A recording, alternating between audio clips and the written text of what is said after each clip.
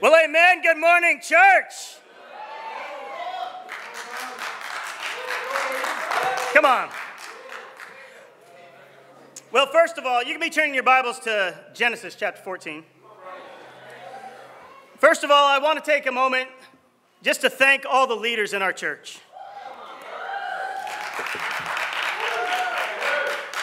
I want to thank Papa Pat and Mama Pam for taking care of all of us, always looking out. And uh, Tracy and I have appreciated you guys and the way you look out for us and everyone in the church here. Pat and Sparkle, uh, you guys have built such an amazing sector. The Vine City sector here, yeah? You guys have done a phenomenal, phenomenal job. Miguel, just the way you, you gather the brothers and sisters, the way you lead our singles has been a phenomenal thing to watch. I want to thank you for your leadership. RD and April, you are such incredibly healing friends. You've helped Tracy and I through so much since we've been here, and we love you guys. Corey and G. Corey, you become one of my best friends. And it is so hard to watch you go. But um, you guys built a church that is capable of sending out two mission teams at one time.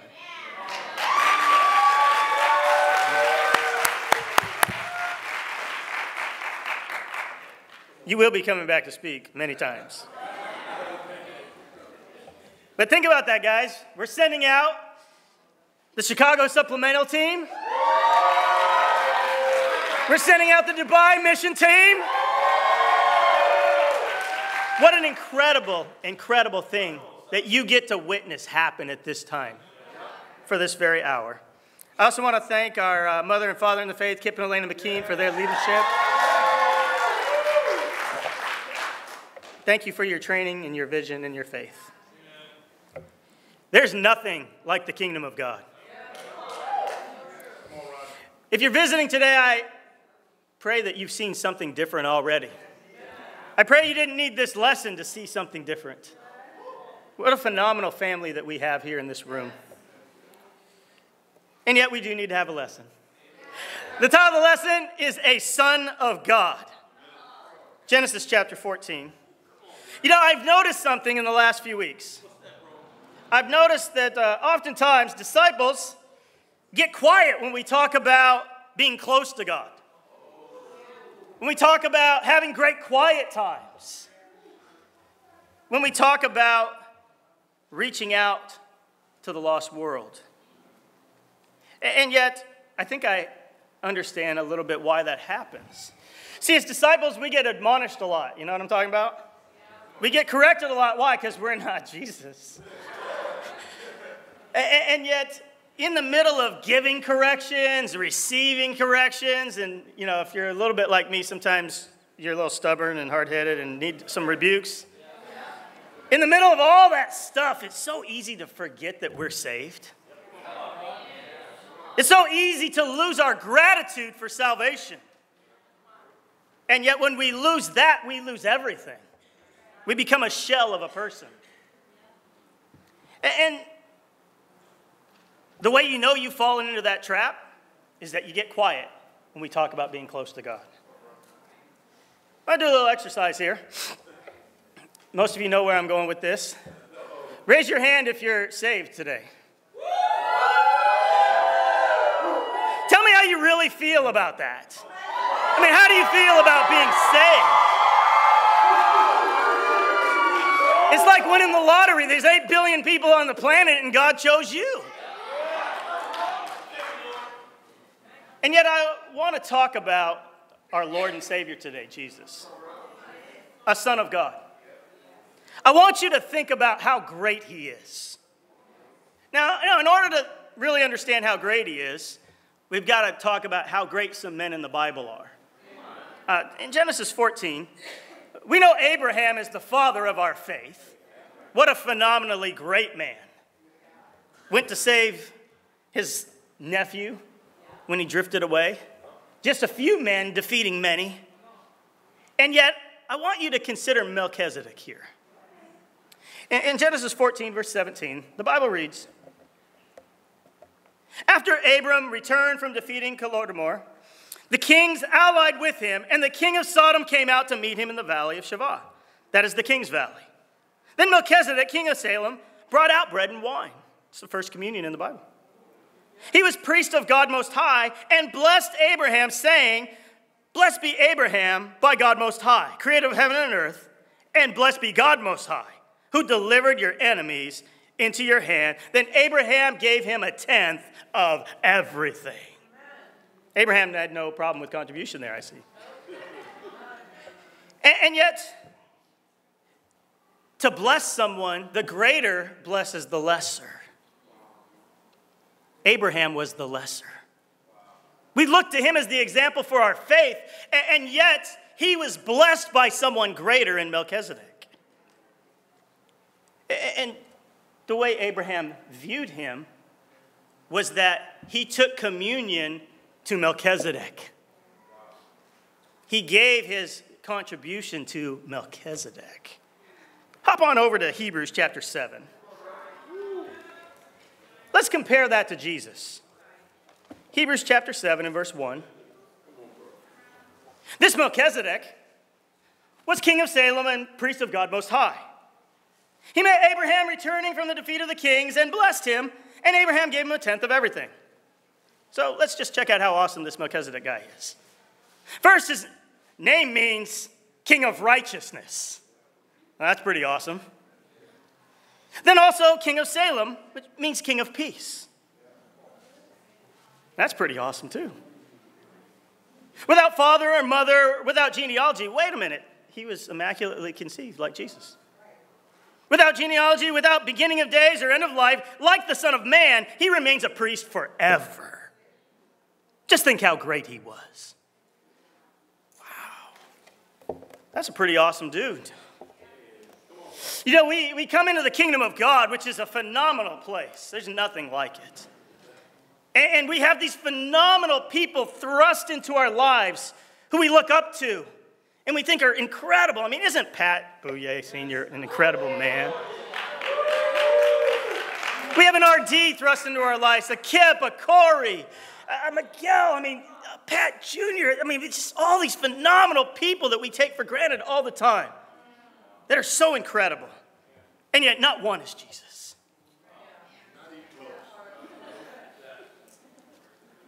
Our first point is that Jesus is the Son of God. Go to John chapter 1. So, just how great is Jesus compared to us? Compared to the greatest amongst us. In John chapter 1 and verse 47, when Jesus saw Nathanael approaching, he said to him, Well, here's a true Israelite in whom nothing is false. So we know Nathanael's not going to tell a lie here about who Jesus is. How do you know me? Nathanael said. Well, Jesus answered, Well, I saw you while you were still under the fig tree before Philip called you. Then Nathanael declared, Rabbi, you are the Son of God, the King of Israel. Wow. The Son of God. That's pretty awesome. You know, he was there when this planet was formed. He heard the words, Let there be light, and watched it happen. Know how he watched it happen? He made it happen. That's how awesome he is. Go to chapter 5, verse 24.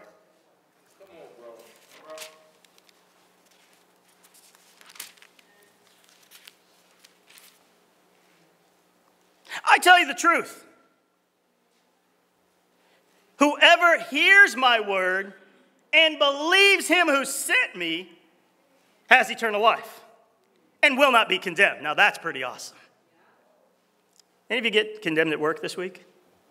Condemned by a family member? Condemned by someone on the street? Maybe you cut them off and they condemned you with their hand? When you believe in Jesus, which is obviously followed by the action of following Jesus, you don't get condemned. It says he has crossed over from death to life. I tell you the truth, the time is coming and has now come when the dead will hear the voice of the Son of God, and those who hear will live. That can be you today. For as the Father has life in himself, So he has granted the Son to have life in himself, and he has given him authority to judge because uh, he's just the Son of Man. Jesus is the man. You know, Jesus Christ was the most incredible being man has ever come in contact with. The full measure of the Spirit. What did that look like? Nothing is impossible for him. No problem too great. No hardship can harm him or take away his spirit. Not a shred of doubt or fear or insecurity at all. Wow. The highest level of integrity. He didn't even come close to being deceitful in the slightest way or embellishing. He didn't have to. A divine confidence coupled with the most irresistible humility. Words like thunder that just gathered like joyful noise. Rebukes that just penetrate to the dividing soul and spirit joints and just to the deepest reaches of your soul. No one could go deeper than Jesus. And yet, every word always healed and built up. He always knew exactly what to say, exactly what to do, and exactly when to do it. He didn't just have like coffee table discipling. Know what I'm talking about? That kind of discipling time or counseling time when you, you sit and you just talk about all the problems you haven't repented of. Where the leader plays therapist or psychologist. That was not Jesus. That was he was too great for that. He had what we're calling a high efficiency modular D times, where he took his disciples out with him. See, he had his plan for what he was doing to impact this world, and he took his disciples with him. He didn't just go to them and carve out a time just for them to just cry and moan and gripe and, and, and walk away discouraged because they haven't changed yet. He took them with him to change the world. He took them with him to serve and, and to give to people. He took them with him to, to have outreach. Okay, he'd send them out two by two, but then he gathered them back with him to help them because they were so beat up after being alone in the world. He, he, he went with them to rest and to pray. Jesus was phenomenal. He's the perfect example for all of us. And yet, if you're a real, true baptized disciple today, You've been made in his image because of all the work of all these leaders I spoke about today. Is that not phenomenal?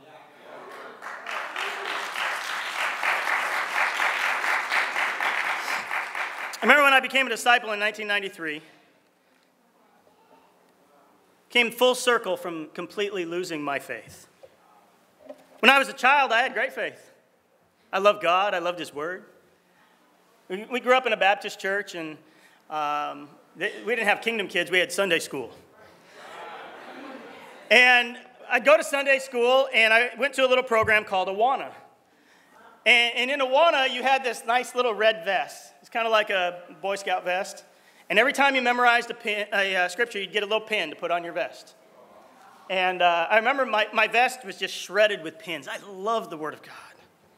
I love memorizing His Word. I still have my first Bible that my mom gave me, the little picture Bible. It's pretty awesome. Sometimes I get more out of the picture Bible than the regular ones. but, you know, then uh, I got baptized at five years old. How about that? I didn't know what I was doing, I just got wet. I remember coming out of the baptismal, looking at everybody. I wanted attention, you know. It, but, I, but I love God so much until I walked in the back and caught the pastor messing around with the secretary. Whoa, what, what is that all about? Started to lose my faith. And then I had a very similar incident. Uh, I, I, you know, Kenneth did a great job sharing today. Thank you. Thank you for your, your testimony. I had a very similar incident what Kenneth described. You know, my mother being beaten, and uh, I tried to stop it, and I got grabbed by the throat and thrown into a glass, uh, glass uh, sliding glass door. And uh, I couldn't stop it, so I ran out of the house bleeding, cut from the glass and everything, and I ran a mile down the street to the pastor's house. By this time, it was a different church. And, and I see it as clear as day. He Just opened the door and just whoosh, the smell of alcohol. His nose all pink and slurring, and he's no use to anybody. And I lost my faith that day. I let man get in between me and God. You know, oftentimes we cry about what happened to us, but we've got to learn to cry about our response to what happened to us. Because that's what takes away our relationship with God.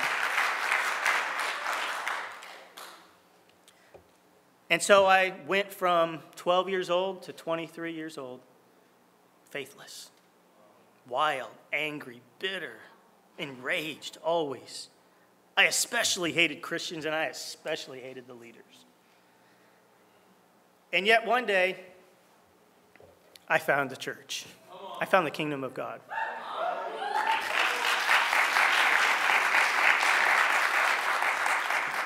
And of course, God knew what I needed. The leaders were all awesome and charismatic, but I was like, yeah, mm-hmm.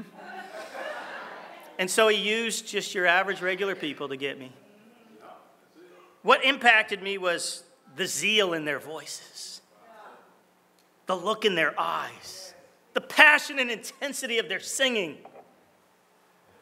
the love in their hugs, even though I rejected it at first. First guy that hugged me. I, grabbed him by his throat, kind of like, I was kind of like that guy with Kenneth. I, Don't ever touch me again. And yet it broke me. It broke my pride, it broke my anger. Why did I lose my faith? Because I never saw anyone talk like Jesus. I never saw anybody love like Jesus, walk like him, teach like him, speak like him. I only saw faults. And I didn't have the ability to look past faults to see godliness in people. I lost my faith that man, in the heart of mankind, they want an awesome, incredible world to live in and to be a part of a family of God. But Jesus, you can't do that with him. He's perfect in every way. He's the embodiment of the Alpha, the Omega, the beginning, the end, everything. He's the King of Kings, He's the Lord of Lords. And He's your Savior and mine.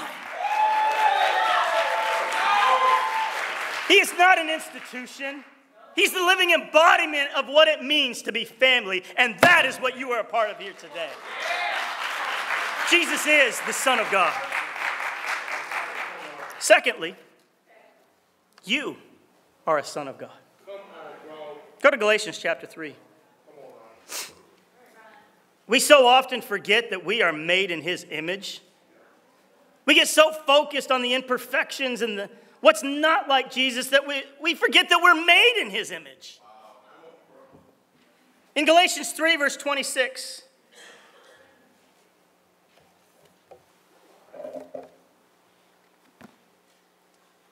you are all sons of God through faith in Christ Jesus. For all of you who were baptized into Christ have clothed yourselves with Christ. I just want you to picture that for a moment.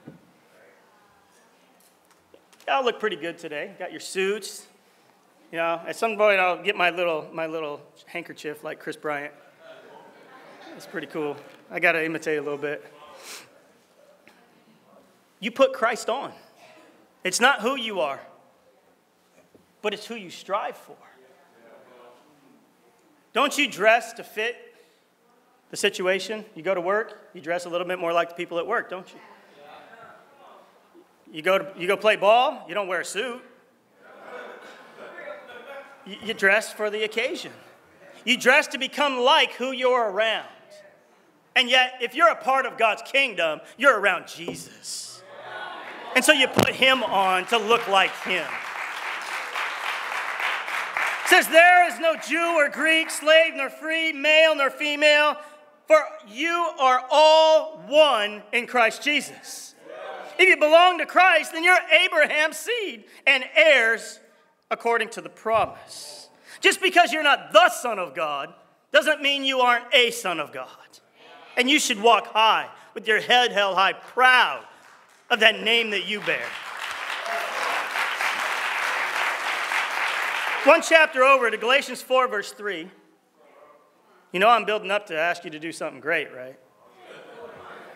Galatians 4, verse 3. So, also, when we were children, we were in slavery under the basic principles of this world. But when the time had fully come, God sent his son, born of a woman, born under law, to redeem those under law, that we might receive the full rights of sons. You have the same rights as Jesus. Because you are sons, God sent the Spirit of His Son into your hearts. The Spirit who calls out, Abba, Father. So you're no longer a slave, but a son. And since you are a son, God has also made you an heir to His kingdom.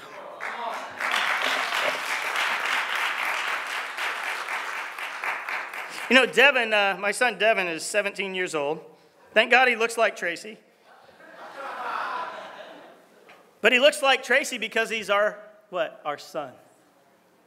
Now, Dylan, our younger one, he thinks and reasons and loves like me and Tracy. Why? Because he's our son. You know, Jesus wasn't God's only son or daughter. He looks exactly like God, he talks exactly like God. And yet, you are a son of God, you are a daughter of God. And he calls you to walk like him and talk like him and be like him today. Now we know how great Jesus was. We know who he was. And yet, I want you to take a moment to think about how great he made you to be today. You have a uh, calling that is far higher than you can imagine. Eight billion people in the world, and you're the one sitting here today. He said, Of all these billions of people in this world, I chose you first because I know what you can do, he says. I know who I made you to be. You're in my, you were created in my image to be like me. And you cannot be like God without changing this world. Go to 1 Peter chapter 2.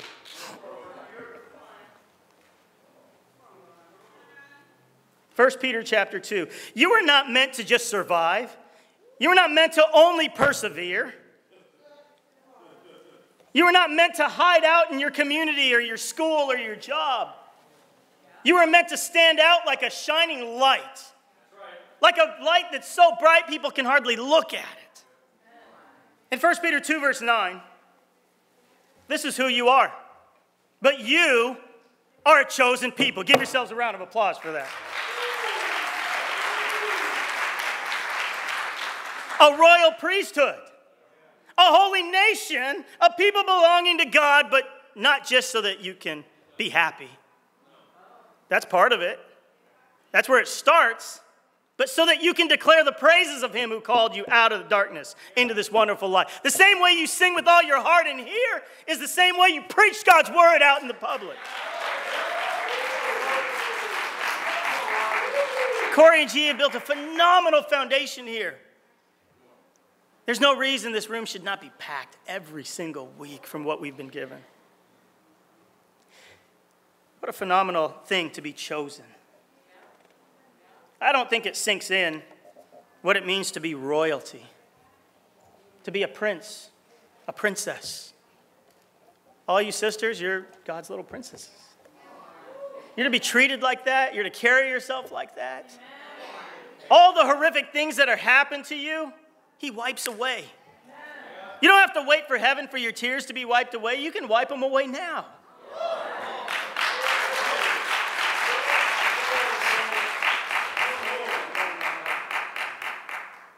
His image.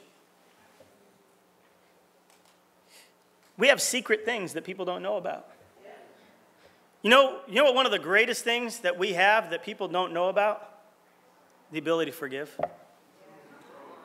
Who's hurt you? Who's damaged you? Sticks and stones. But words, what? That's a bunch of garbage.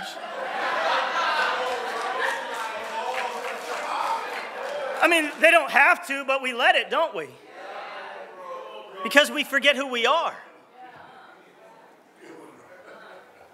I mean, you think about the Queen of England. If somebody says, oh, you're some little poor, you think she's, whatever.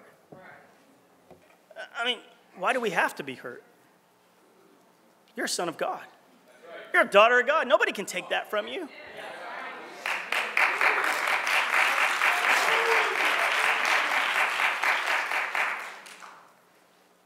I think we just we get too overcritical of ourselves and others. It's one of the greatest reasons we forget. Probably the only flaw you had this week that was really worth thinking about is whether you gave your all or not. All you can be asked to do is give your best and then be open to correction on how to be even better, like a coach. It's really all you can be asked to do. The problem is you don't know how much that really is that you can do. You can do far more than you're doing right now, I guarantee you. How do I know? Well, you know, AJ and CL just had a baby recently, right? Well, he's doing all that he does around the sound and the audio and mercy and all this stuff, and he's raising a baby on top of it, which he wasn't doing before. He can do far more than he thought he could. Having a child is the thing that really exposes in us how much more is inside of us. It's one of the most special things in the world, but it, it tells us more about ourselves than almost anything else. It's that way having physical babies, it's that way having spiritual babies. But you know, in the kingdom, royalty equals servant. We wash feet, we serve one another, we lay down our lives, and we do it of our own accord. No one telling us to, because we walk like Jesus. You know, I learned a while back just to do my best and to be proud of doing my best and to be led to better. And, you know, it's interesting when we're converted. Uh, in our Bible talk, we had, a, we had an incredible sister named Lisa who was converted not too long ago. And uh, Lisa was met by Julie, who does the communion. And, and uh, it was phenomenal watching, watching Lisa study uh, because she, she's a great mom. She takes great care of her kids in the evenings and stuff. And so she'd come at 7 a.m. every morning to study the Bible. It's a phenomenal thing. And, uh, and yet, the thing that struck me most is, uh, you know, Lisa's in the back over there. She still carries the invite in her purse that Julie gave her the day she invited her.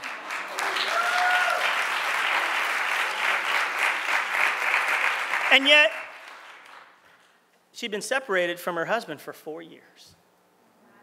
And, uh, you know, things weren't very good there. And, and, yet she learned a secret thing when she became a disciple, and that's how to forgive someone. And so she forgave him. And then, you know, doggonest thing happened. Just a couple weeks later, Reuben just shows on up at church. And he just comes on in and he's sitting in the back.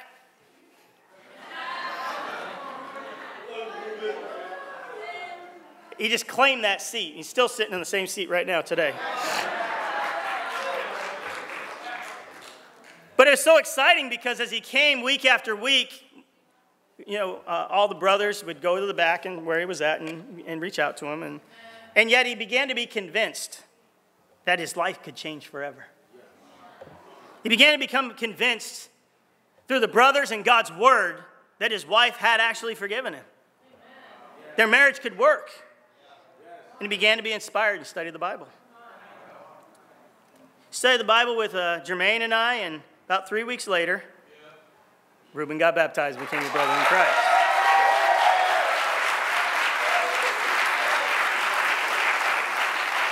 And a few weeks ago, we were studying the Bible, you know, and you just don't really realize how much impact God makes on somebody and, until you see them in a Bible study trying to help somebody else have their life changed. And, and we're sitting down in this Bible study, and and, and there were some guys we were studying with a very similar background, and, and, and Jermaine and I are really trying to get in there with them, and we're just like, brick wall, you know? And then uh, Reuben goes, Hey, I understand what you're going through.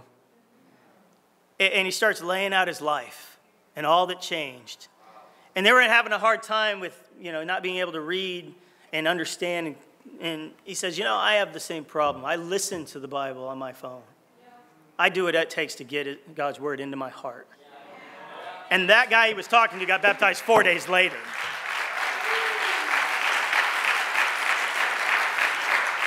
We don't realize it, but disciple equals leader because Jesus equals leader. And so Reuben led that guy in just one conversation toward baptism, where two other disciples that had been around 15 and 23 years couldn't make a dent. That's the impact you can have on somebody's life. You lead ch- people to church because you're royalty. You have what they don't have. You have secret answers. You have great convictions that put you in that seat every single week.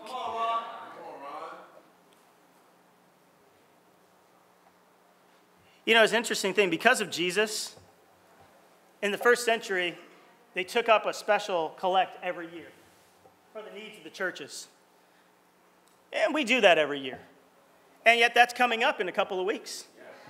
And, yet, it's an amazing thing. Because of Jesus' leadership, they were not only faithful in giving each week, the Bible says, they also gave beyond that for that mission. And they sold their possessions for that mission. And, then the Bible says they even gave beyond their ability. That means you find money you don't have, which we call fundraising. and yet, the most incredible thing about it is because of what Jesus did in their life, the Bible says that they urgently pleaded if they could partake in doing that. Here goes the quiet thing again. Amen. Just kind of minister, helping congregation here, you know. The Bible says they begged for the honor of giving. Yeah, I may ask, how are you here today? You know, uh, Kip got baptized in 1972, right? And, and, and, you know, Elena got baptized in 1973, this next year. And, and yet, they instituted in our movement of churches doing this annual giving. And, and for me, I've been a disciple for 23 years, Corey, what, 25, 25 years. And yet, uh, every year we've given this special collect. And it's an amazing thing Every year, we empty our bank account out to nothing and we give our special collect. And you know what's in my mind and my heart when I do that? You. That's it. 23 years ago, I began giving. I had spent $50,000 on my car stereo system. I was a part of the world. And it was the loudest vehicle in the country in 1992. And I got baptized, and I go, this is just stupid. and so I ripped all that stuff out of my truck, and I sold it for $30,000, and I gave the whole thing for special collect that year. Myself and countless other disciples have done that every year, and that's the only reason you guys have a place to be sitting here today. Let it not be about anything else other than that, that we raise money fervishly to meet the needs of a lost world and the needs of our churches around the world.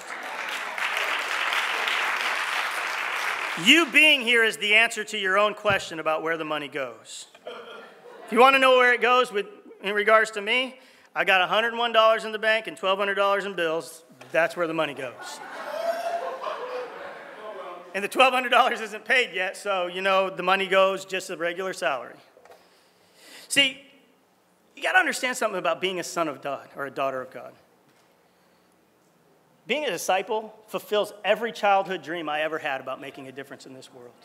Being a doctor doesn't do it, being a firefighter doesn't do it, being a pro basketball player doesn't do it. That was great, but Corey being a disciple and a preacher is what does it. You are a son of God. You are a daughter of God, and you are royalty today.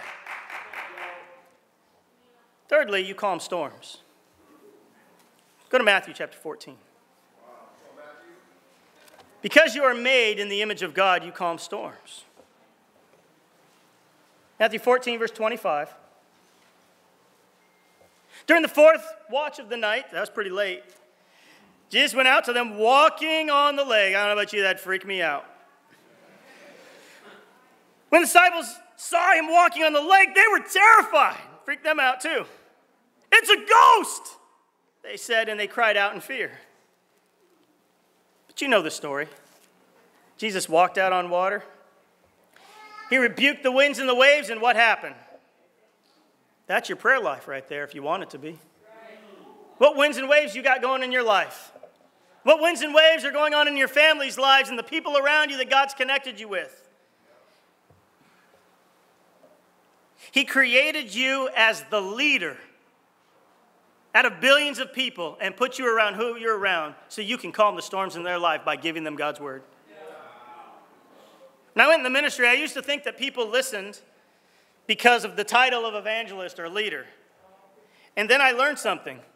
Most people are scarred by leadership, so there's actually more disrespect because of the title. I learned what to embrace is just being a disciple of Jesus, and what changes people is when you give them God's word. Faith in God's word and obedience to what it says always fixes everything eventually. you gotta put the eventually in because it doesn't happen when you want. But that's when leadership becomes powerful. When you realize there is no storm that you cannot calm with God's word and obedience to it. You are a son of God who calms storms. Lastly, you help the blind to see. Mark chapter 8. We'll bring it to a close here. Mark chapter 8, verse 22. You help the blind to see.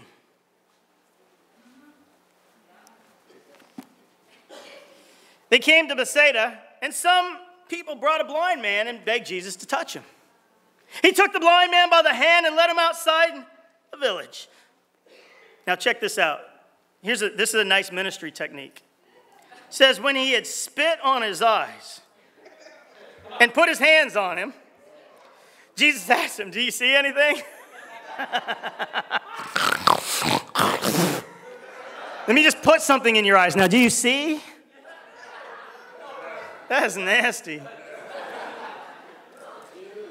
I mean, you just like, that, this passage invo- invokes so much emotion. Spitting and putting your hands on somebody, and okay, now do you see? You know, we have this crazy expectation. It's the one we should have, but our response kind of kills it at times. We expect, because I read you the Bible, you should get it now. And we get so mad at each other. But I told you what to do. Why aren't you doing it? And the other person's thinking, the same reason you're not doing the things you're not doing. And yet, here's what happens oftentimes when we read the Word of God to each other. See, this is why the thing about perseverance is in the scriptures. So the dude has spit in his eyes, and he's like, okay, do I see anything? He goes, Ugh. he looked up and he said, oh, I see people. They look like trees walking around. It's all blurry. You ever had that? You read the Bible to somebody? I've had many talks like that with Kip. You read the Bible to me? I think, I, kind of, no, I don't get it. It says, once more, Jesus put his hands on the man. See, that's the key right there. That's the key. See, most of us, we just kind of go, you didn't get it, whatever. No, you got to, again. You got to do it again.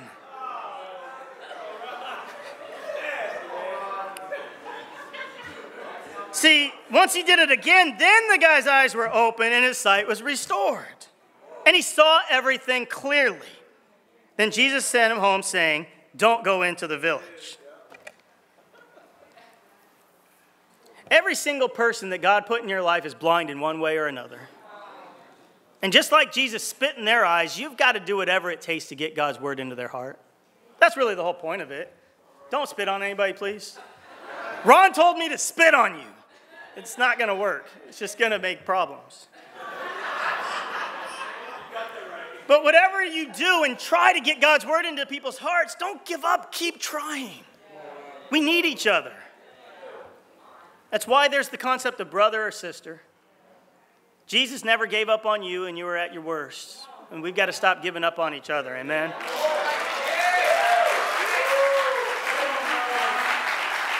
Our last scripture, John chapter 14, we'll close out with this one.